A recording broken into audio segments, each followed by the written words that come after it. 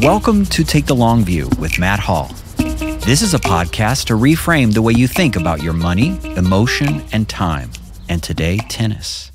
The goal helping you put the odds of long term success on your side. Tennis is my sport of choice. I happen to believe it is the greatest of athletic games, requiring physical talent, emotional sturdiness, and strategy. I also believe, through my own experience, that it is a game that can be played for a long, long time. My grandfather played into his 80s, and my parents are in their 70s and still getting after it more than once a week. Today, I'm joined by author Gerald Marzorati. He wrote a book I love called Late to the Ball, a memoir about tennis and aging. And now his latest book, Seeing Serena, a portrait of the tennis champion and global icon Serena Williams, has just come out. He writes regularly about tennis for NewYorker.com. In the past, he was the editor of the New York Times Magazine from 2003 to 2010. And he previously worked as an editor at the Soho News, Harper's Magazine, and the New Yorker. His writing has appeared in the New York Times and many other publications. He also wrote a book, A Painter of Darkness, that won the PEN Martha Albrand Award for a first book of nonfiction. Gerry, this is my favorite time to talk tennis. Why? Because Wimbledon is in full swing as we tape our conversation. And I think Wimbledon is the best of all the tennis tournaments in the world. Let me ask you this Are there two weeks in professional tennis that you love more than Wimbledon?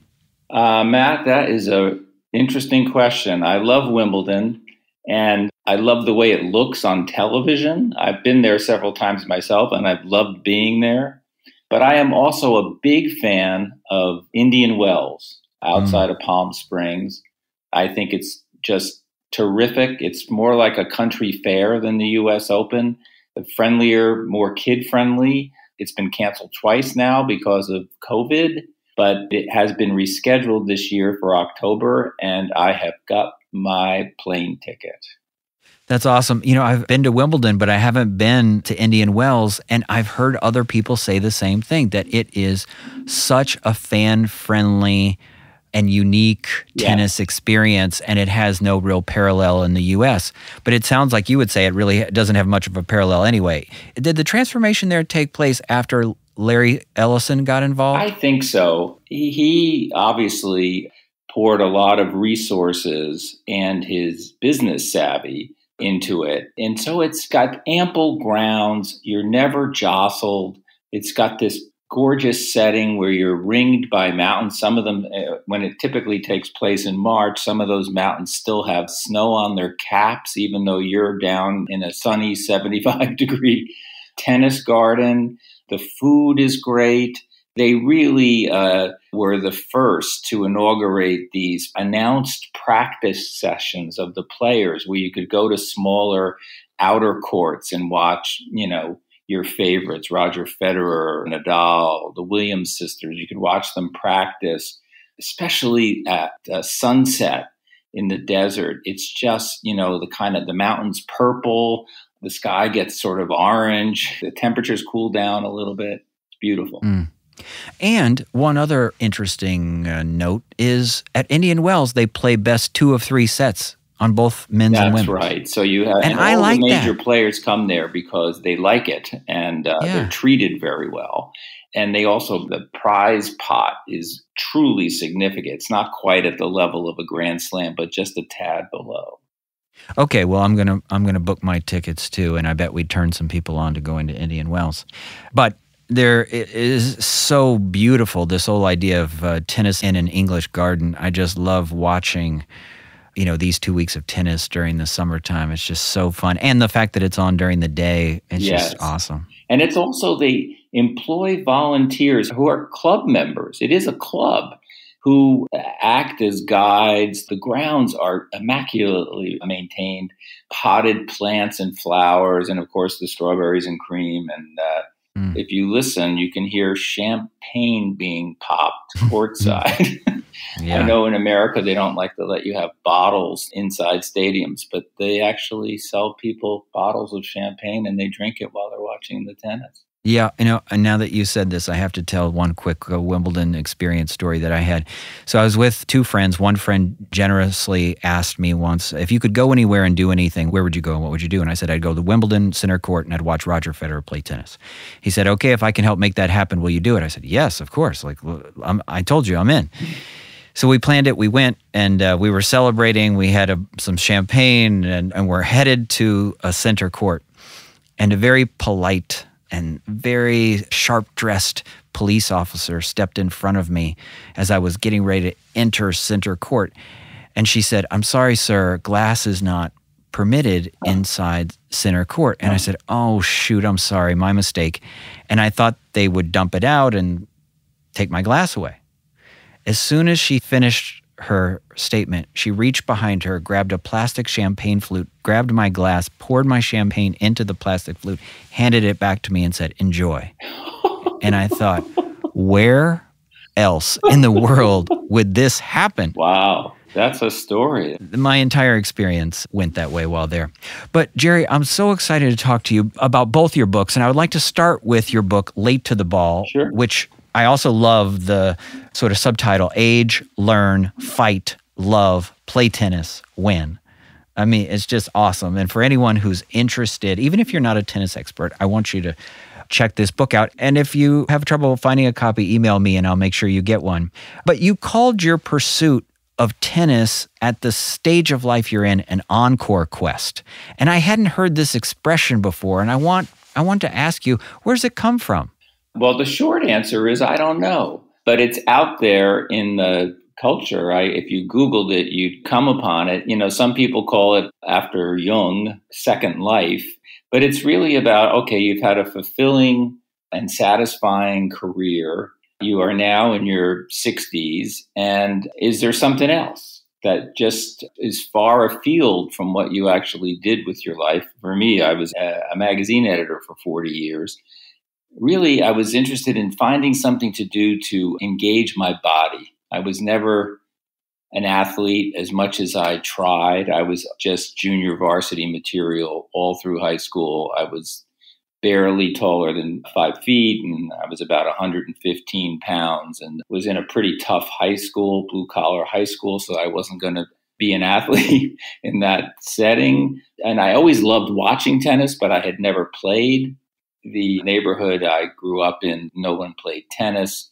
So I just decided my kids were, you know, one was heading off to college, one was a junior in high school. They were at that stage where they didn't expect you to be helping them to occupy their weekends. So I started taking lessons and got quite engaged and involved and started eating a different way, started exercising a different way, doing all these things, and tried to turn myself into a 60 something tennis player. And it's been one of the best things I've ever done in my life. But just so the listener knows, you didn't just decide to take up tennis casually. You were pursuing a level of tennis accomplishment that I think I don't know if you agree with this. The word I think of is mastery. I mean, you you went to camps, yeah. adult camps and had your swing videotaped and were doing special exercises. I mean, this is a, a pursuit of intense curiosity in all different types of tennis, not just learning the strokes, but building your body and your strength and your strategy. Yeah, that's true. And it, it happened gradually and then happened quickly. I, I fell in love with it, really. I think one of the keys to that is that I fell in love with being coached and learning a craft, essentially, learning something that there was a right way to do it and there this right way was done you know with slight variations by everyone who played it at the highest level. And could i master this craft which was completely different than say mastering the craft of reading if such a thing is true. But the, it was about that kind of commitment to the game but also to the coach. I felt like this is a person imparting this knowledge and you know, when I wrote the book and talked about the book, I always said it didn't have to be tennis. It could have been for someone else. Maybe it was cabinet making or cello playing or who knows what. But here you are. Uh, if you were lucky enough to be someone like me, you were about to retire. There was going to be, you know, money in the 401k. There was going to be some pension. There was, I wasn't going to have to scramble to earn a living. But what could I do? You know, what could I do that would really satisfy this urge I had to do something that I had never done before, that there was a tradition and that I could enter this tradition. And if I worked hard enough, I could absorb this tradition. I think one of the themes that runs through Late to the Ball that I really like a lot is this notion of I'm not done. You know, having a coach and loving a, loving working with a coach is in some ways loving development and training and the process of getting better. When people say the word retirement, sometimes it implies sort of a a quiet period that's coming. And yeah. it's like, I, I love how you turned up the volume and challenged yourself and had this sort of relentless agitator kind of attitude about, I will get better. I will develop, I'll make this backhand better. Yes. And I, I love how committed and how seriously you took this because I think uh, that goes against, you know, the norm. I don't know that people turn it up the way you turned it up and sort of said, I'm not done. This is a new challenge. Maybe the most pleasant aspect of when the book came out and the reaction to the book was I got to meet more people than you might think who were doing something similar. I, I was on some public radio show in the Midwest, and this retired nurse called in. She was in her 70s. And she was really happy that I had done this because she had done something similar. Well, she had done something extraordinary. She had be- become a weightlifter. After these years of turning people over in their beds in hospitals, this woman was now lifting weights and she had just been to the senior olympics in vancouver and had won the gold medal and had broken some record in her weight class for bench pressing, and it was just it was unbelievable. But you know, she was only the most extraordinary of these kind of stories that I would bump into people all the time. I think there's there's more of it out there than I had imagined when I was you know going through this thing on my own.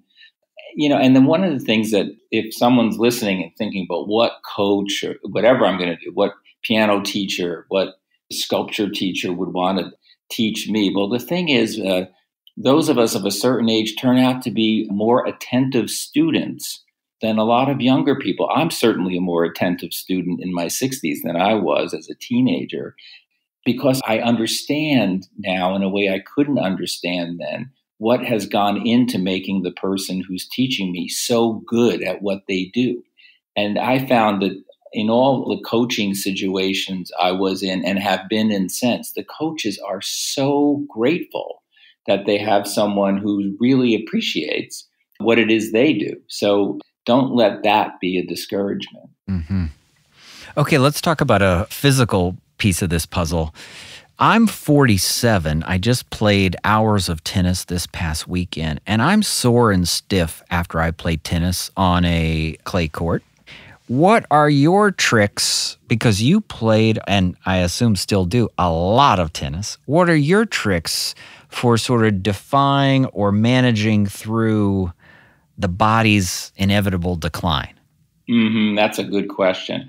My first piece of advice is learn to live with soreness, uh, mm. which is different than pain. When I I had an elbow problem early on, and I, I went to a sports medicine specialist, and he said, There are these things I'm going to do for you, and it's going to make it better. But if you are going to be as committed as you seem to be, you're going to have to understand that soreness is your new friend. It's hmm. it's not pain. Pain is a different thing and and a signal that something is wrong. But soreness is just going to be something you live with. Beyond that, you know, stretch. I wake up in the morning every morning, and the first thing I do for a half an hour is stretch. And ice up after you've played. If you have sore knees, I have arthritis in my knees. If I have bursitis in my shoulder, get the ice out, ice up. And if it comes to that doesn't quite do the trick, a couple of Advil.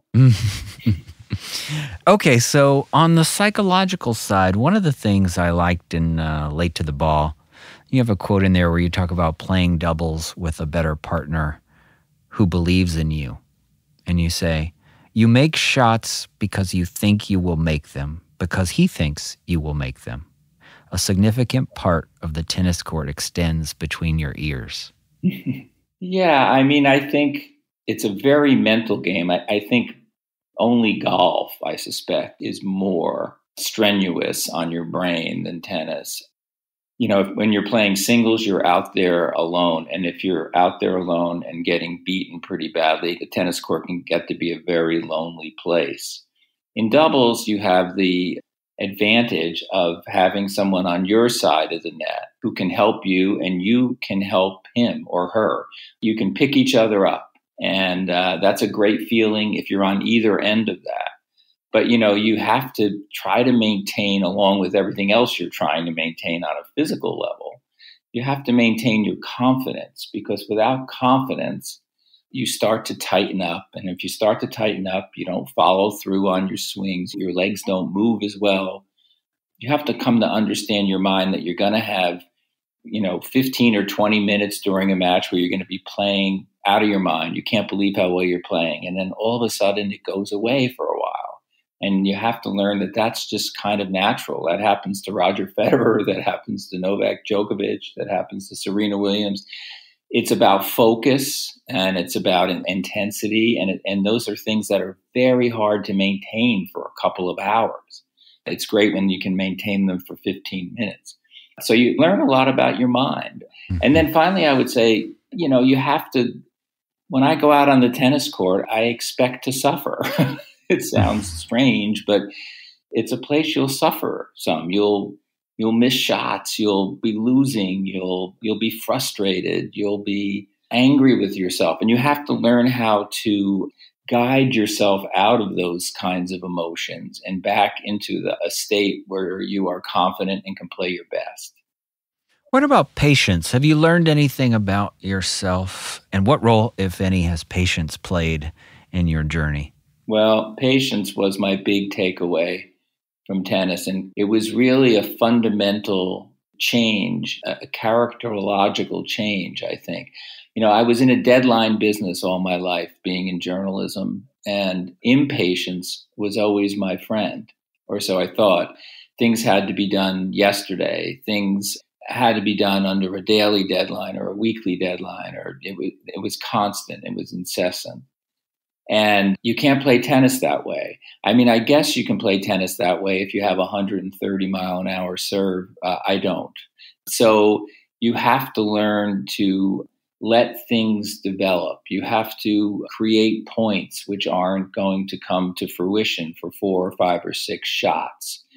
You have to learn that you know you are going to be playing for an hour or two and what happens in the first five minutes doesn't dictate what will follow. The game plays you in a way.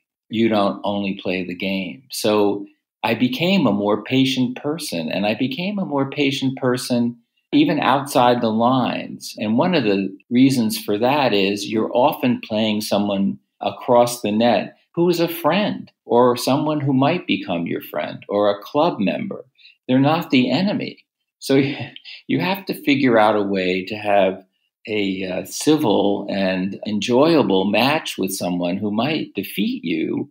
And then you both walk off the court, and maybe after a shower, you grab a sandwich and a beer and, and talk about other things because you can't play tennis by yourself. You play with other people, and they're there are all these gentle person rituals that have developed around tennis, which I love. And patience is sort of one of them. But they're also just the idea that you shake hands after a match or, uh, you know, pat each other in the back as you meet at the net. All of this teaches you a kind of comportment in a setting that really doesn't reward impatience. So it had a big effect on me, really. Tennis camps for adults. I feel like in Late to the Ball, you are willing to go anywhere in pursuit of excellent instruction or coaching. Yeah. You have a phenomenal re- relationship, it seems, with your local pro slash coach, but you're also willing to go to lots of different places to explore the best that the world has to offer with respect to tennis coaching and development. Would you recommend uh, adult tennis camps to people? I would, you know, and I was lucky enough to be able to afford them for starters. But here's one of the things that you find at these tennis camps you find people who are like you, who are also from, you know, all corners of the country pursuing the same sort of thing. And I found that just really encouraging. You know, in my own setting, there really wasn't anyone quite doing what I was doing. Mm-hmm. And here were, you know, 60, 70 other men and women, most of them 50 or older, who had the same kind of zeal uh, mm-hmm. to learn and improve that I did. And I felt a little less like a weirdo mm-hmm, mm-hmm. for, for, doing yeah. what I was doing to spend three or four days among these people, playing a lot, of course, but then also talking to them, you know, over dinner in the evening and realizing they too had had these, you know, they'd been successful in their other pursuits, their own businesses or lawyers or doctors or whatever. And now they too had this bug. That was very encouraging to me. Mm-hmm. Yeah, you know, I can relate to much of this because my parents play tennis, my wife plays tennis, my daughter plays tennis, my siblings play tennis. And in many ways, not just in our family, but with other friendships, it's relationship glue for us. And the conversations, I have a distinct memory of being in the car, in the back seat of the car, and watching my parents after they were playing mixed doubles together, arguing about which one of them should stay on their side of the court or which one which person uh, came over too far when and should have trusted the other to hit the overhead you know? And the stories of tennis go beyond just the match. They do seep into having a drink later or a meal or in my case vacation. So i loved late to the ball for so many reasons and would highly recommend it. But let's talk about your coverage of one of the greatest tennis players of all time, Serena Williams. You wrote this book, Seeing Serena. And my first question is what made you want to do this? Well, there were a couple of reasons. You know, one, one of them, quite selfish, spending a year on the tennis tour was on my bucket list. Mm. And I thought, well, what could I do to spend a year on the tennis tour? And the answer was write about a tennis player. That was part of it. The other was Serena. You know, I feel like she was. I mean, obviously, she's a celebrity and she's famous, and anybody who knows even a little about tennis knows that she's a great tennis player. But she struck me as someone who was complicated and interesting, and in some ways, despite all of the coverage, really had never gotten her due as a consequential athlete, which is to say, not only the greatest women's tennis player of her time, and I would argue of all time, but a greatness that extended beyond the tennis court for being who she was a, uh, a trailblazer, a, uh, a breaker of barriers, a conversation starter, a magnet for all kinds of opinions. And I was there was a fascination level, frankly, and so I I went out in pursuit of satisfying that. Okay, so let's talk for a second about her early days and her dad, Richard, who in the beginning, as Venus and Serena were coming on the scene, he was very visible and now not so much.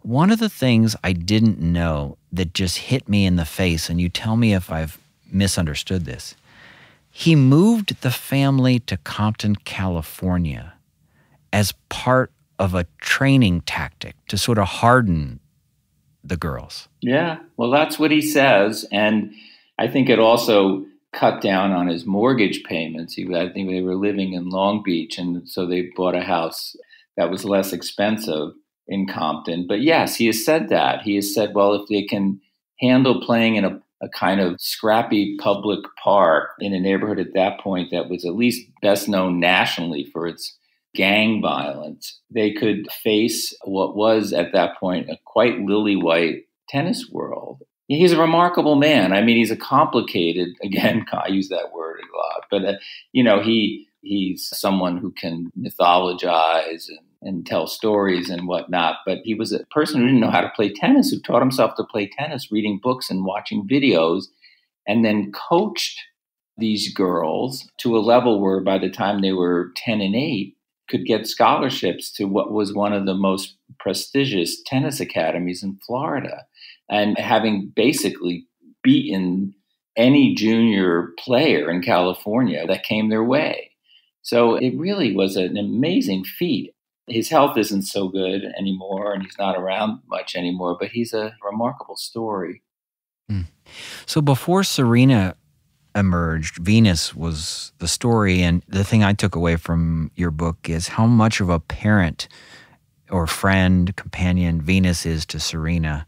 She is hugely important in Serena's life. Oh, without a doubt. I mean, I tell a story in the book about that there were five sisters originally in that two bedroom house in, in Compton and four bunks. And so Serena who was the youngest, would bunk with one of them every night. And she always chose Venus. And even after the oldest sister moved out, she kept coming under the covers with Venus. And she has said, Serena has said repeatedly, Venus takes care of me. So I do think she's like an older sister slash third parent. And if you see them walking around the tennis court, if you see them heading to the gym at Wimbledon, there's a body language that they have where you get that Venus is the one taking care of Serena. It's very, uh, Tracy Austin told me in the book, you can't fake their relationship.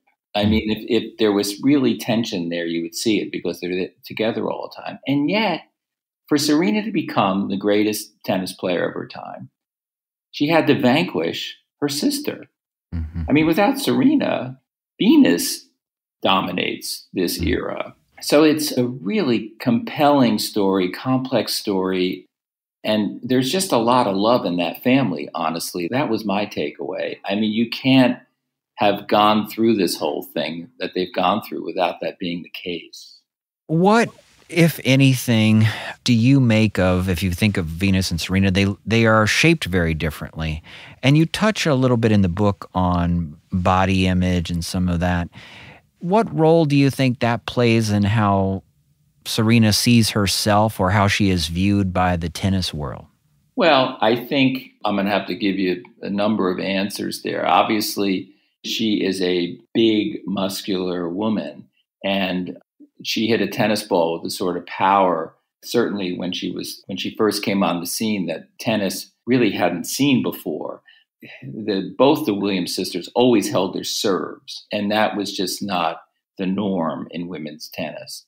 She also was it's hard to remember now as she approaches 40 she she's certainly lost a step or two running to the corners but she was fast and so she was not only powerful, but incredibly quick.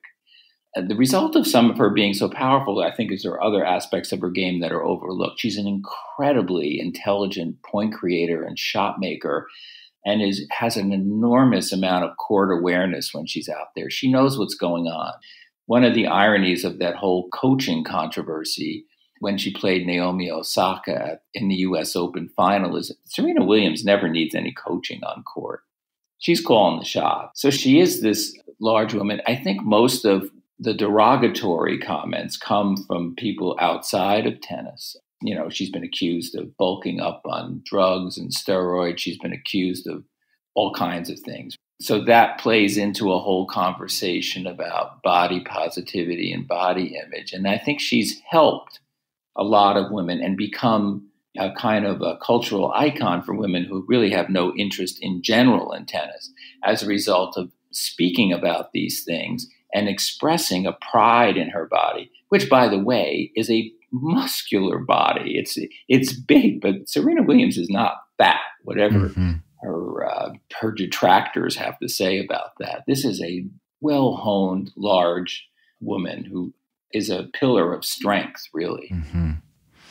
Let's talk for a second about her interests and influence outside of tennis. One of the things that struck me as I was reading the book is are all of these other distractions helpful or did they somehow are they distractions? Do they dilute her focus on tennis? Meaning she is living a big part of her life in social media and fashion and mm-hmm. there are, you know, legitimate other interests. So Do you think those things have helped in that they have distracted from this sort of myopic tennis focus? Or have they hurt in some ways, especially as she's getting older and trying to beat the Margaret Court record for most Grand Slams? Well, I would say, you know, the Williams sisters always had outside interests. They took uh, design courses and they were interested in designing fashion. I think the real difference now is that she has the distraction of being the mother to first a baby and now a toddler and a and a young child. I think that is the distraction and it's a she loves being a mom. If you're around her at all, it's so evident. And as all of us can relate to, when you have small children, there's a before and after, right? The kids come along, and now you have to make space and a place for them in your life. And you can't be as self absorbed and focused on your work, for instance, as you used to be. And I think uh, certainly the players and commentators around her, that's the first thing they bring up. And, you know, you come to a, a tennis tournament, you really want to be it's supposed to be all about you, right? You have a team and they're all focused on you and you're focused on you. But uh, if you're a mother, it's not easy. It's not mm-hmm. easy. And if you're a loving mother and an engaged mother, which she clearly is, it's really not easy. You've probably seen some of the social media clips where she's teaching her daughter how to hit a forehand and hitting balls. I find those to be especially inspiring. I want to get your reaction to my reaction to something. When I watched the US Open where she lost to Naomi Osaka, it seemed to me like at some point there, Serena may have known she was in trouble. She was getting beat and used the controversy. And if you don't know, if you're listening and don't know what this controversy is, I'm sure you can find it by searching uh, US Open, Serena, Naomi. But using the controversy with the chair umpire to fuel her and potentially distract her opponent. What do you think of that idea? Well, I certainly agree with the first part of what you said. She only has these blowups, I think, and there aren't that many of them. And more than 20 years of playing tennis, there's only been a handful. She has them when she's losing and can't figure out a way to win. Naomi Osaka was just playing lights out tennis. She was playing loose. She had nothing to lose. What you lose to Serena Williams in, in a U.S. Mm-hmm. Open final, and you're 20 years old.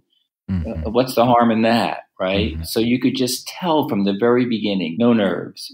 Serena is really nervous in these finals. She's reached four of them. She hasn't won any of them since coming back to the game after giving birth to her daughter. She's tight. You can see the, the miles per hour in her serve dropping. You can see her, her feet aren't moving. So she was at a point in that match where she could not figure out a way to win. And that's when she blows up. Whether it's a conscious thing, I kind of suspect it's not. Mm. And I say that because I think afterwards she feels kind of humiliated and bad that she lost her temper, lost her cool like that. So certainly there's ways that players have they may not even be conscious of of mm-hmm. psyching themselves up. Mm-hmm. I just think it's kind of a massive expression of of frustration. Mm-hmm. I was thinking of uh, if you've seen the Michael Jordan documentary, there are so many examples in there where he uses or creates, oh, manufactures, yeah. manufactures being slighted to motivate himself.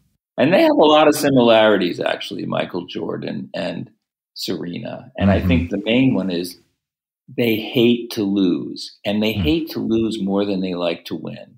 Mm-hmm. It's a very odd thing, and it's very, except it's very common among the greatest of athletes, that it's a, almost a, a fear and a loathing of losing that allows them to find a way to win. They both share that. How did your take on Serena change after working on the book? That's a good question. And I don't know that it did change all that much. There were a couple of things that surprised me in the process. One example is I was surprised to find out. I mean, Serena's a an international celebrity, so that she has a kind of aura when she enters a fashion show or a musical event or something makes sense to me. What I didn't understand is that she also carries that on court. And a number of players spoke to me about this presence. That was the word that they would use, and they would use it knowing that it was an amorphous sort of term. They would all say it's more than just that she hits the ball hard. It's more than than just she knows how to create points. There's just a presence, and you feel it. And that surprised me because tennis players, by and large, are tremendous, especially at the level where they're playing at this high professional level, are really kind of wildly self confident people. They have to be. I mean, they're going out in an arena in front of millions and millions of people and they're on their own. It's not they're part of a team and I'm feeling like I'm going to have an off night, so I'm not going to take many shots tonight and I'm going to pass the ball off a lot. They don't get that opportunity. So it really struck me that both veteran players and young teenage players would say she had this presence and it affected me. Do you think she will surpass Margaret Court and win another major? I think it grows less and less likely. You mean she will be 40 years old in September? My point would be that this is one of those records that doesn't really mean a lot. And I'll tell you why. Margaret Court was a great tennis player. She won most of those Grand Slams before the Open era began, which is the era of professional tennis, which attracted many, many more talented people to the game because the money got better. She also won six, seven of those Grand Slams at the Australian Open at a time when the best players in the world did not travel to the Australian Open. It was too mm. far away. It occurred during the holiday time in December, and they didn't want to be away from home for the holidays. I just don't see how you could make an argument that Margaret Court was a more consequential player, more, a greater player than Serena Williams. It doesn't make any sense. I think Serena wants to win one more, less to meet that record, honestly, than to win one as a mom. As a mom, yeah as a mom. You know, she's a big fan of Disney movies and she wants to stand on the court uh, with Olympia in one arm and the trophy in the other. That's what I really think she wants. I mean, mm-hmm. she said a lot of different things about what she wants, and she said it doesn't really matter to her. And sometimes she says it does matter to her, but I think that's what she wants. And honestly, I hope she gets it so that maybe we can stop talking about the Margaret mm-hmm. Court comparison. Right. But I think once she beats Steffi Graf's record, of having the most wins in the open era. That was to me that was the record. One more question about Serena. Do you think she will read Seeing Serena? Ah, that's a good question. this was not an authorized book. I didn't have any special access to Serena. She'll she'll write her own biography at some point, I'm sure, and I look forward to that. This was a book about an avid tennis fan and writer following around trying to capture her in her twilight and talk about what I thought made her great. I hope she reads it. mm-hmm.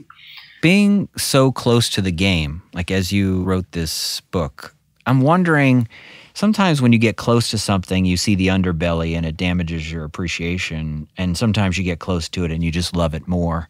Which was it for you with spending time on the tennis tour? Uh, very much the latter. All sports have have a you know things that go on in the back room and it's a business and we all understand that. And i'm a grown up. I understand that's the way the world works. To be able to sit and watch tennis live you know it like any sport it's just different being there than watching it on tv television can't convey how hard these players are hitting the variety of spins they're putting on the ball how quick they are. These are things you can only really see i think when you're there you know, one of my favorite things to do is if I have a friend who doesn't think she or he is into tennis, I'll go during qualifying week at the US Open. I'll invite them out and we'll go to some small court, outer court, and we'll watch two players play. And they'll say, Oh my God, that player is just amazing. And I'll say, That player is ranked 163rd in the world. um, there's so many, many good tennis players and you realize what it takes to, to, enter the top 10 or be the best or something it's like magic on some level. There's so, so many good players, and yet only a handful of them get to the very top. And very few siblings. Yes. Yes. Who have, uh, you know, dominated tennis for now two decades. Yes. On the women's and side. left a legacy by being Yeah. around as long as they have. You see these, whether it's Naomi Osaka or Coco Gauff, they all talk about they would have never been doing this if it hadn't been for the Williams sisters. And that's an Mhm. amazing thing to have, to have that kind of legacy where these, the best of what's to come has been inspired by you. That must be a beautiful feeling. Yeah, that is beautiful. That's better than Disney. Okay, well, I feel like I have to ask this question given that what you spent most of your career doing. How can the rest of us become better writers? Oh, uh, well, you know, I feel like, you know, when I was first starting out, one of the things I did as a side job to support myself because, you know, writing in my early 20s wasn't paying the bills was I taught retirees in a writing program that was set up by their union because they wanted to be able to write good letters to their children. And I mean, maybe Facebook and all these things have done away with that. What I would say to them is you have to find ways to build up your confidence in writing the same way I had to build up my confidence to play tennis. And one of the ways to build up your confidence in writing is to start by writing for yourself. Just write in your diary in the morning. Just write things down. When you wake up in the morning and your mind is fresh, write things that are on your mind. And, uh, and then the second thing is to read. It's hard to become a, a good writer without reading more than you write. So they, they would be my two tips. Awesome. What's one uh, tennis book that you would buy and give to someone else to read? Ooh, boy, there's so many good ones. I mean, I think one of the greatest tennis books is Andre Agassi's Open. Mm. A, because he got himself a real writer to help him write the book. And then he was really honest about the mix of emotions he felt about tennis. Uh, It's a classic, and uh, I would recommend it to anyone. Well, Gerry, this has been so much fun. If people want to learn more about you, where can they go? Well, I would say read a book I've written about tennis. Mm-hmm. Certainly, it was late to the ball that there's a lot about me in there, and they would learn. They would learn about me. Are you active on Twitter and social media? I am at Marzo Tennis, M A R Z O Tennis. You can find me there. Good. Well, thank you for your work. And um, I find you to be an inspiration. I'm so glad that you shared your experience and your gifts with readers. As someone who loves tennis and loves talking with people who think about tennis, and especially I love this notion of an encore quest and the way you pursued it. Not just doing it, but then writing it down and um, sharing it with others is very generous. So thank you so much. And thanks for taking the time to chat with me.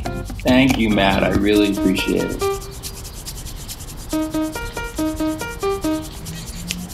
What will be your encore quest? Please note the information shared in this podcast is not intended as advice. The intent is to share meaningful experiences. I am likely not your advisor, nor wealth manager, nor financial planner, and my opinions are my own and not necessarily shared by Hill Investment Group. Investing involves risk. Consult a professional before implementing an investment strategy. Thank you.